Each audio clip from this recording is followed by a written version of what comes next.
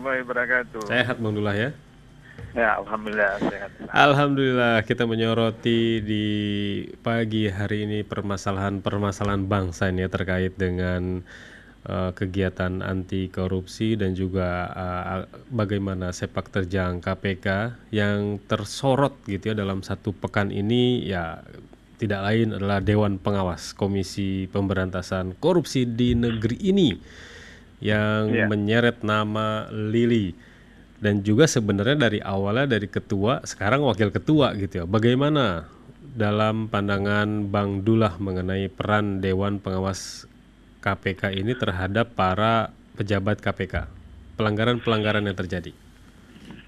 Iya, uh, pertama ketika rencana uh, Jokowi untuk mengamandemen undang-undang tindak undang-undang KPK, undang-undang nomor 30 tahun 2002 tentang KPK itu reaksi keras hampir dari seluruh Indonesia. Yeah. Bahkan ada sampai mahasiswa yang meninggal karena demonstrasi dan seterusnya. Hmm.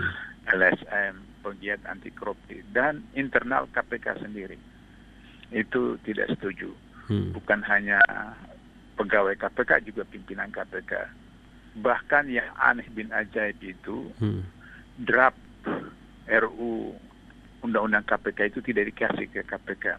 Hmm. Kalau Mas Angga mau renovasi rumah, itu kan tukangnya kan harus minta dari Mas Angga. Yeah. Kira-kira apa namanya desain rumah desain mau diperbaiki itu hmm. apa apa hmm. apa WC-nya, apa ruang tamu, apa soalnya. Kan yang punya rumah yang harus hmm. yang berkepentingan. Ini KPK yang punya diri itu tidak dikasih, tidak hmm. diminta pendapat. Itu aneh bin ajaib hmm. seperti itu. Nah, karena memang kita tahu sejarah backgroundnya itu bahwa eh, berapa ratus yang ditangkap KPK itu iya. anggota yeah. DPR pusat, eh, anggota DPRD, kemudian gubernur, bupati, wali kota, menteri, hmm. semua itu adalah orang partai, orang hmm. partai hmm. politik. Dan kemudian presiden, wakil presiden itu juga orang partai, dicalonkan hmm. oleh partai. Hmm. Nah, oleh karena itu maka kita tahu bahwa pilpres 2019 itu penuh dengan kecurangan yeah. dan kalau itu nanti kemudian KPK dibiarkan seperti KPK dari jilid 1, jilid 2, jilid 3 maka agak repot hmm, baik hmm, presiden, hmm. menteri partai-partai besar, koalisi uh, Pilpres 2019 itu akan kena. Hmm. Karena itu maka kemudian dipaksakan amandemen undang-undang KPK itu sehingga kemudian lahirlah sekarang struktur baru namanya Dewan Pengawas. Hmm, hmm dulu tidak ada dewan pengawas. Yang ada adalah penasehat penasihat yeah. KPK. Tugas penasehat KPK adalah memberikan nasihat, saran, pertimbangan kepada KPK. Jadi baik kepada pimpinan, pejabat maupun pegawai KPK. Kalau ada terjadi pelanggaran kode etik hmm. oleh pegawai KPK, maka dibentuk majelis kode etik yang terdiri dari penasehat, kemudian sekjen, kemudian deputi uh, dan kemudian uh, apa namanya uh, wakil wadah pegawai. Nah biasanya lima orang. Lima orang ini yang akan memeriksa pejabat yang melakukan pelanggaran kode etik. Yeah. Selama 8 tahun lebih di KPK, saya menangani 10 pelanggaran kode etik pegawai dan pejabat. Dari 10 itu yang saya ingat empat dipecat, uh, dari pegawai KPK, kemudian dua dipecat dari jabatannya jadi pegawai biasa, dan kemudian uh, yang lainnya dikasih peringatan. Bahkan ada yang menggunakan telepon pribadi, telepon kantor untuk urusan pribadi, ya, dimutasi dan ganti rugi, harus bayar uang teleponnya. Itu untuk pegawai. Untuk pimpinan KPK itu tiga kali saya uh, dibentuk komite etik yang terdiri dari uh, apa pribadi-pribadi tokoh dari masyarakat yang mayoritas dan kemudian dari internal KPK. Eh, dari tiga kali bentuk komite etik itu, eh, dua kali saya ketua, satu kali jadi anggota.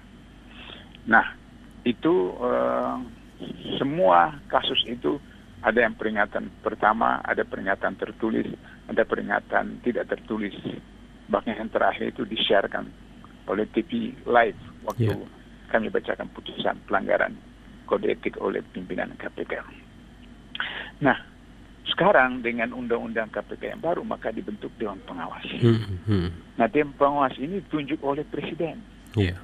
Sehingga logikanya bahwa kalau ditunjuk Presiden maka tidak mungkin Dewan Pengawas ini akan memproses Presiden kalau Presiden melakukan kesalahan Hmm. dan seterusnya. Nah itulah juga maka kemudian pimpinan KPK yang sekarang itu disetting sedemikian rupa Hmm. agar supaya juga mendukung kebijakan presiden, kebijakan pemerintah, atau kalau ada presiden, menteri, dan semacam partai besar itu terlibat korupsi, itu bisa dilindungi. Iya. Contoh kasus uh, Harun Masiku Iya. yang sudah lebih setahun Betul. itu tidak tidak bisa ditangkap-tangkap. Padahal dulu uh, Nazarudin uh, itu bendahara partai berkuasa waktu itu, uh, Hmm. Partai Demokrat, itu hanya sekitar empat bulan. Langsung Nah, kami tangkap dia di Kolombia. Nah, jadi dengan begitu maka dengan pengawas sekarang itu adalah punya presiden sehingga ketika ketua atau wakil ketua pimpinan KPK itu melakukan pelanggaran dengan sendirinya maka tidak akan dijatuhi hukuman yang berat atau apalagi dipecat. Hmm. Yang wakil ketua yang sekarang disangkakan me- melakukan hubungan eh, langsung tidak langsung dengan seorang yang sedang diperiksa KPK, tersangka KPK, Hmm. itu sanksinya cuma dipotong, Dipotong gaji pokok. sejuta berapa. Hmm. Padahal waktu saya di KPK men mengsource, memecat, memecat dua pejabat dari jabatan, kemudian jadi pegawai biasa, Hmm. kemudian di sourcing empat bulan, itu dipotong 50% gajinya. Hmm. Jadi ketika selama di sourcing itu, dia hanya dibayar 50% gaji. Ini wakil ketua dan kemudian bukan pidana. Kalau yang saya katakan tadi pejabat eh, KPK yang saya pecat itu bukan pelanggaran pidana, Iya. pelanggaran kode etik.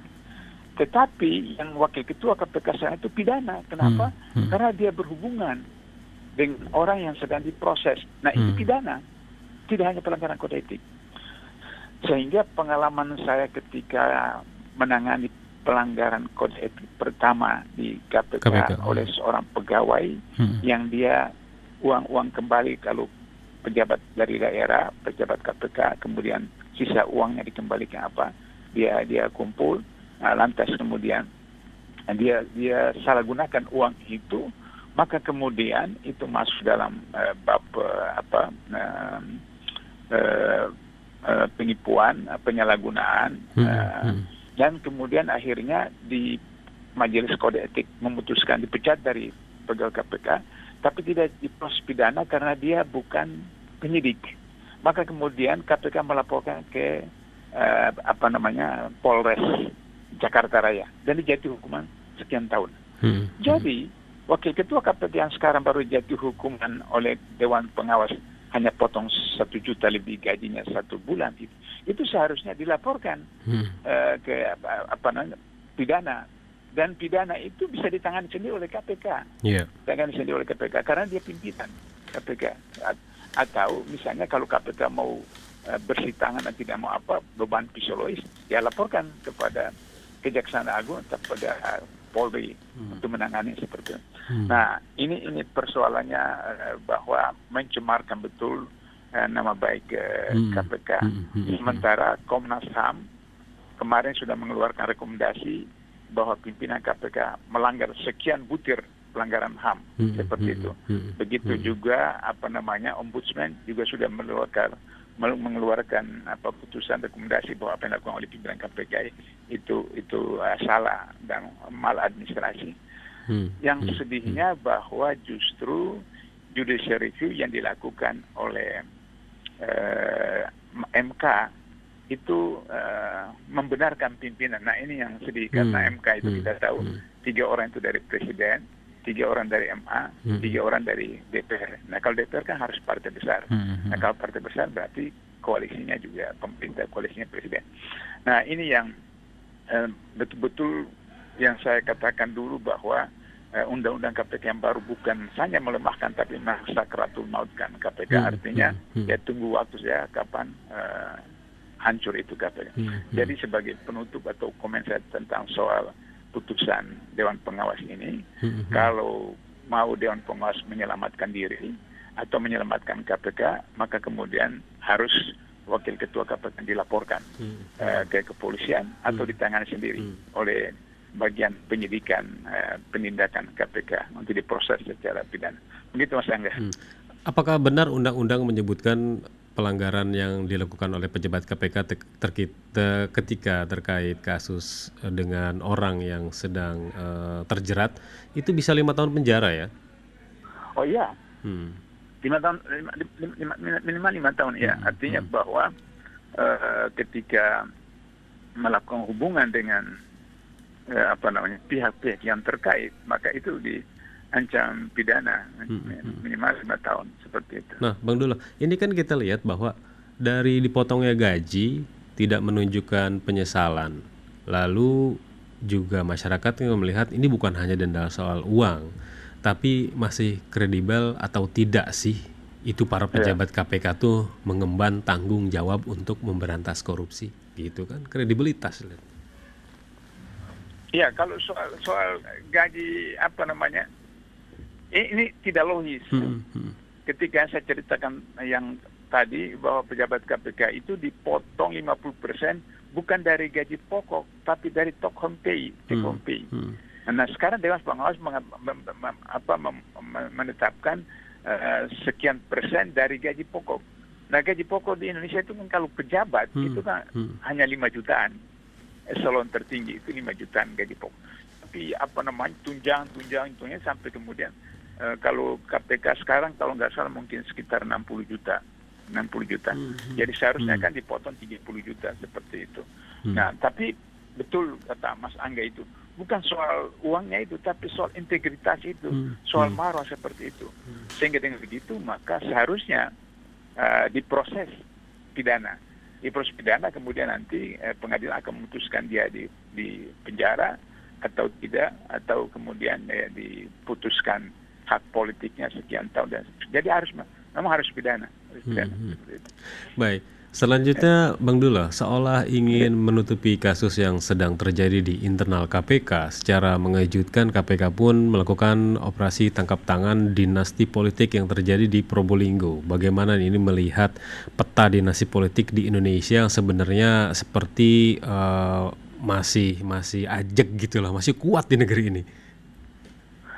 Iya, jadi uh, saya harus jelaskan kenapa dalam kondisi KPK seperti sekarang artinya sudah apa namanya hilang wibawanya, hilang hmm. kredibilitas dan seterusnya. Hmm. Tapi masih ada proses eh, OTT atau hmm. tangkap tangan dan seterusnya. Hmm. Karena berbeda KPK dengan instansi eh, lembaga negara yang lain hmm. atau kepolisian atau hmm. kejaksaan misalnya eh, atau Mahkamah Agung misalnya. Di KPK itu ada yang disebut dengan KPI, hmm. Key Performance Indicator. Hmm. Jadi hmm. indikator kunci yeah. Iya. uh, kinerja seorang pegawai.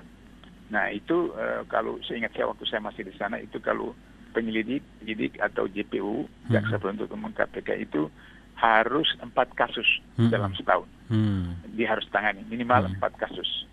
Kalau dia bisa mencapai empat kasus, maka kinerjanya A. Kalau kinerjanya A, maka kemudian tunjangan kinerjanya itu 10% persen hmm, hmm. dari hmm. gaji. Kalau misalnya B, maka 7 persen kalau C 5%, kalau D hmm. nol. Jadi kalau dia misalnya tidak mencapai KPI-nya, maka kemudian eh, tunjangannya tidak akan dapat.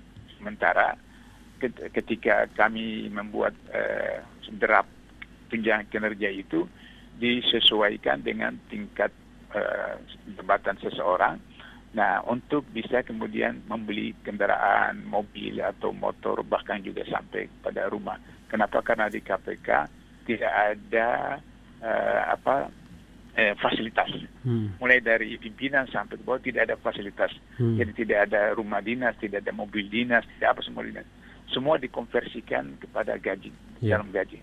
Nah, misalnya saya punya gaji sebagai penasihat, saya bisa beli mobil katakanlah Honda Accord apa hmm. tapi untuk hmm. apa ya hmm. saya beli Avanza saja karena saya harus tanggung sendiri biaya apa segala macam hmm. bensin atau apa uh, servis saya hmm. tanggung sendiri jadi untuk apa saya uh, beli mobil mahal yang biaya servisnya mahal seperti itu hmm. nah oleh karena itu maka kalau dia tidak mencapai KPI-nya maka kinerjanya itu menurun maka dia tidak bisa katakan diambil mobil diambil motor atau Hmm. apa namanya cicil rumah tidak bisa Iya. itu. Karena itu maka mereka harus eh, minimal empat kasus. Hmm. Nah, maka mereka akan kemudian mencari kasus-kasus yang kemudian tidak mengalami problem dengan dewan pengawas Hmm. karena di dalam dalam ketentuan undang-undang yang baru untuk melakukan tapping atau melakukan penyadapan harus Penyadapan. izin Ke Dewan Dewan Pengawas. Pengawas. Hmm. maka teman-teman yang penyelidik-penyidik atau di KPK ini mencari kasus yang kira-kira uh, tidak akan dihalangi oleh Dewan Pengawas Hmm. atau, atau tidak lagi oleh pimpinan.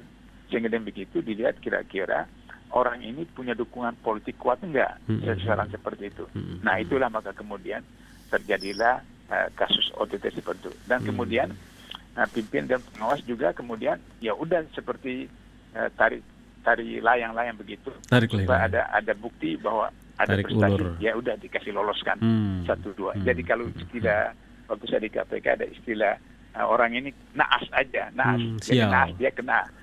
Lagi kena Nah, sial ya. Jadi ya jadi yang begitu banyak orang buat tapi Oh. kok dia yang kena jadi kena naasnya saja yang Hmm. lain tidak tidak tidak kena naas. Hmm. Nah itulah sebenarnya Hmm. eh, jadi eh, masyarakat harus perlu tahu karena meskipun pimpinan begitu pegawai atau penyidik itu dia harus Hmm. kalau tidak dia tidak mencapai KPI. Iya, Nah, kalau iya. dia tidak mencapai KPI penyidiknya, deputinya, direkturnya, KPI-nya kan bergantung Hmm. dari Hmm. bawahannya. Hmm. Direktur itu punya apa namanya eh, KPI mempengaruhi deputinya dan deputinya begitu terus Hmm. sampai ke atas sehingga Hmm. mau dan tidak mau meskipun eh, mereka merupakan pion dari pemerintah atau apa, Hmm. Hmm. tapi mereka harus ciptakan kinerja untuk nama baik eh, pribadi mereka sehingga mencari kasus-kasus yang kira-kira Hmm. tidak berbenturan Nah inilah. eh, dengan penguasa seperti Hmm. itu.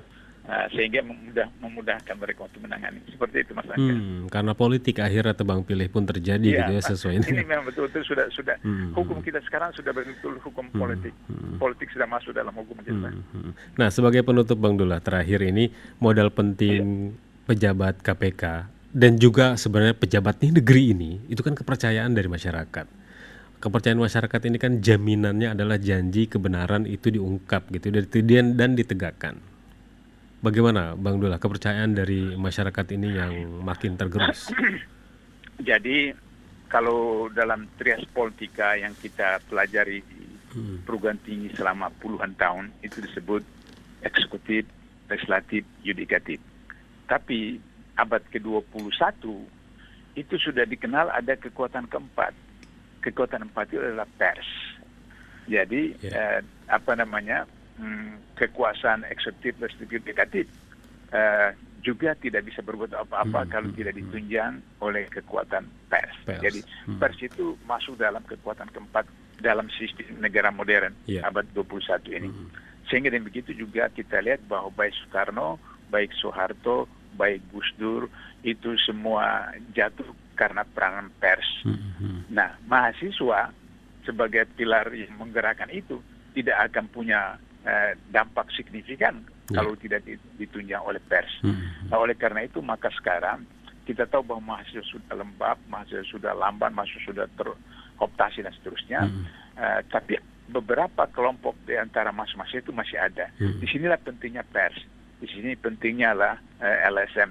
Di sini pentingnya civil society untuk memberikan dorongan, menggerakkan sehingga kemudian terjadi satu bola salju, katakanlah seperti 97-98, Iya. apalagi sekarang ada keinginan untuk mengamandemen Undang 45 Hmm, khusus tentang pasal eh, apa jabatan presiden, Jabatan presiden. menjadi tiga Hmm. periode Hmm. dan ini berbahaya sekali. Hmm, Kalau tiga periode, hmm. kemudian di periode berikutnya keenakan empat periode dan seterusnya. Iya. Oleh karena itu maka eh, agar supaya masyarakat tidak kemudian mengalami beban dampak seperti orde lama orde baru maka masyarakat juga punya harus punya kesadaran untuk bisa sama-sama mengontrol katakan lapor ke DPRD, lapor ke Polsek, lapor ke pers atau sampai ke apa namanya tingkat DPR pusat.